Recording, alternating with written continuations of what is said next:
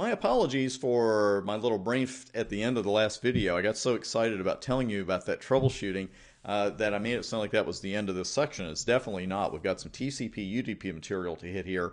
And of course, this is a very important exam topic. We're going to take about 15 seconds here to discuss the similarities between the two. They both operated the transport layer of the OSI model, that part we knew, and they both perform a little something called multiplexing.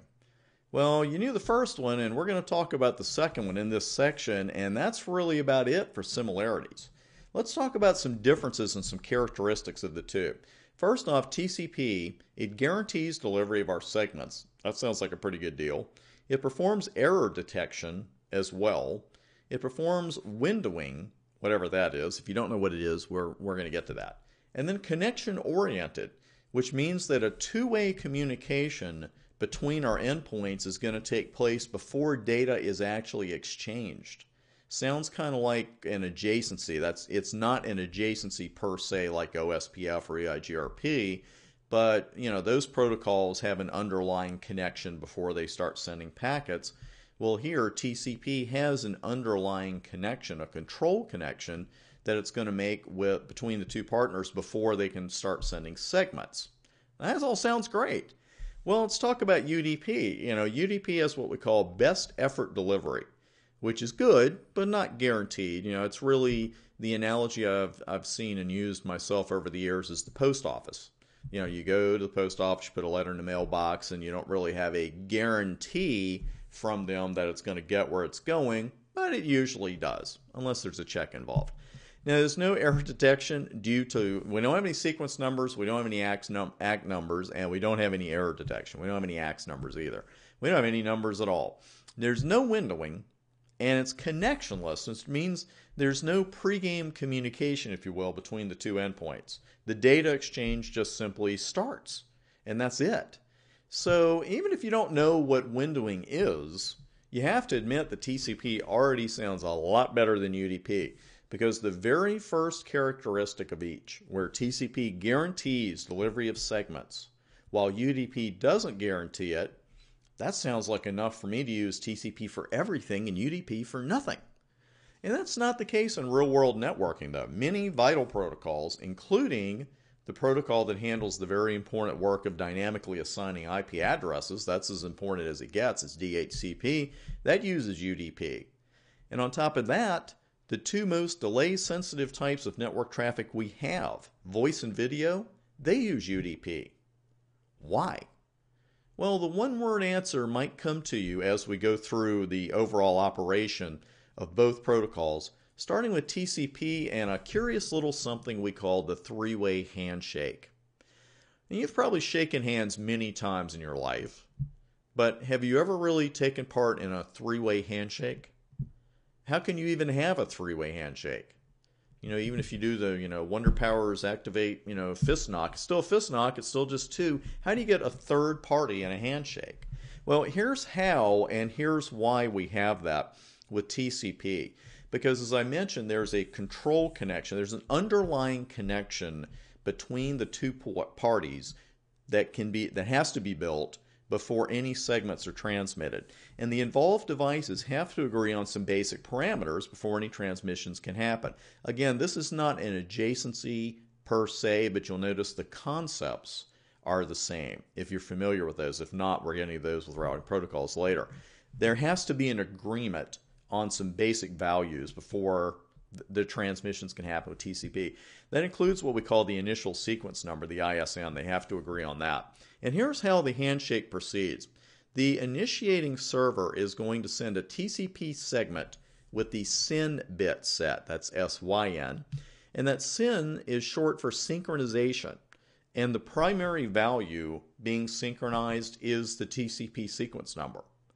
Now, the recipient is going to respond with a TCP segment of its own, and this one has the ACK bit set as well as the SYN bit, which is why we call this a SYN ACK.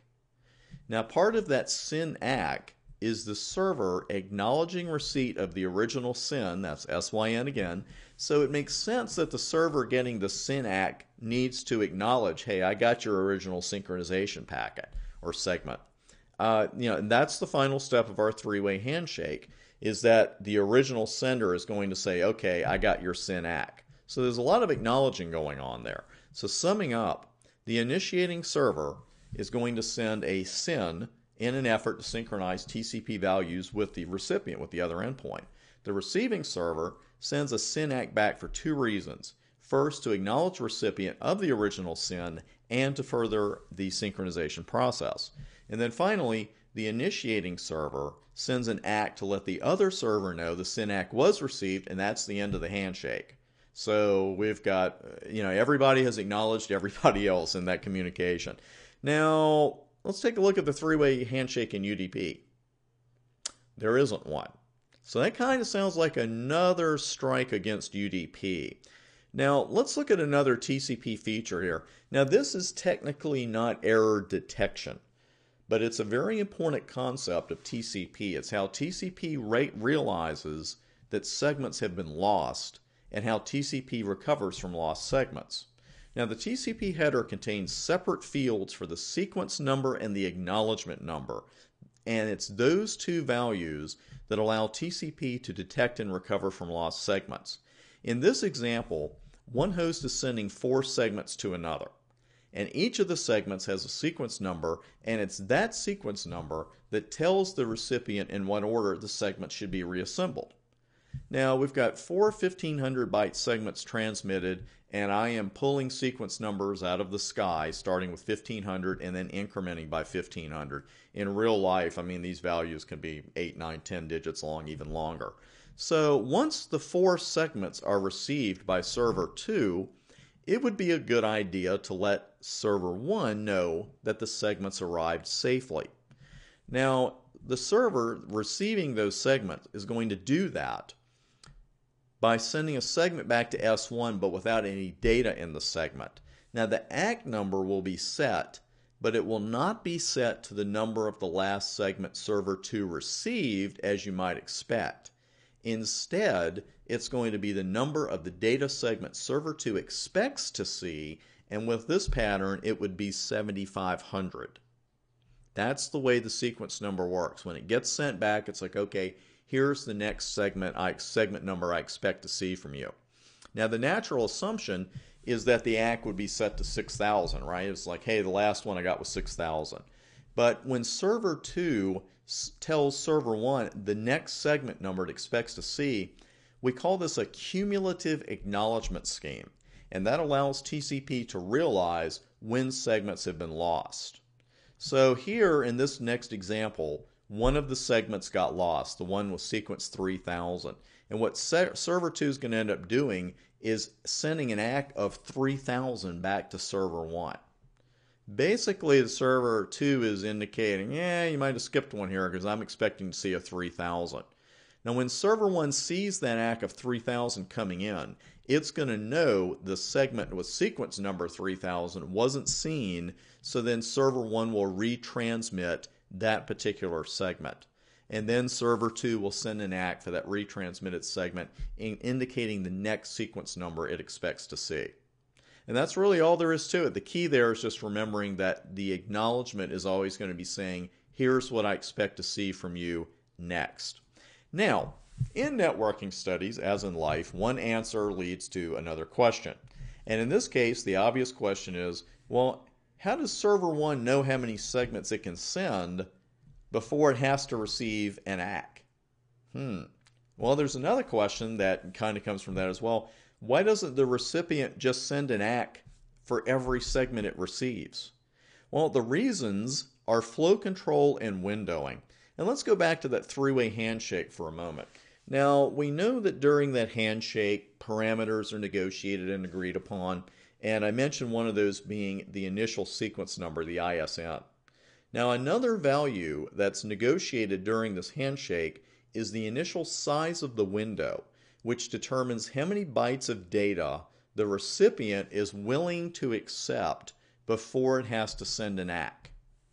And notice this is the initial size of the window.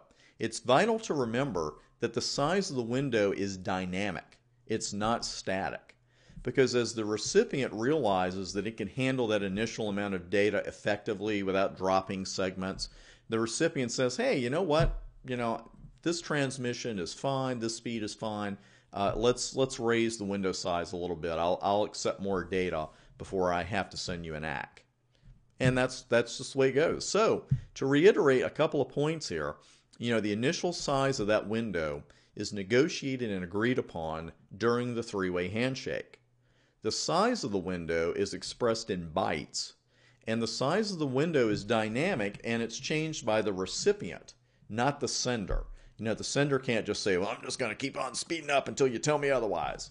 The, this flow control can raise or lower the size of the window because as that recipient starts to drop some segments, it's going to start saying, wait a minute, wait a minute, we're going, we're going too fast. We're going too fast here. Lower that size a little bit. Let's lower the size of the window. And that's why we refer to it as a sliding window. You know, it can slide up or it can slide back.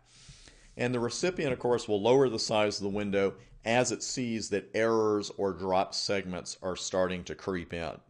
And you can see why this is such a fantastic feature because it allows the segment transmission to stay close to the maximum speed while also letting the recipient slow the flow down when transmission is too fast and segments start getting dropped.